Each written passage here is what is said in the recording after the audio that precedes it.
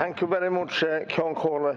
Taoiseach, I want to ask you today, why is it people in rural Ireland, places like Kilgarvan and Gutdarrig and Headfort, when that local bridge goes down on that local road, why is it taking 12 months or more to reopen these uh, roads? Because uh, for farmers, contractors and school buses, it's a massive inconvenience to go around five or seven miles of a detour.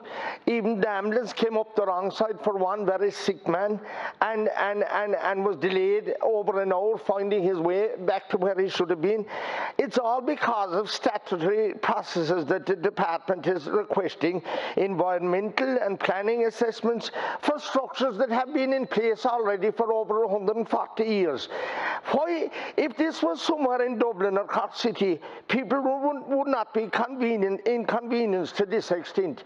I'm asking why are you allowing this to happen? Thank and you, I, Deputy. I Time's heard up. Andres ask the Moynihan Taoiseach. Speaking there earlier. Thank you, Deputy. The, the road from Time- the top of no, Tappacool please. to The time is Ballingeary was Deputy. closed for two years because of Yeah, these time is now. silly Taoiseach, requests.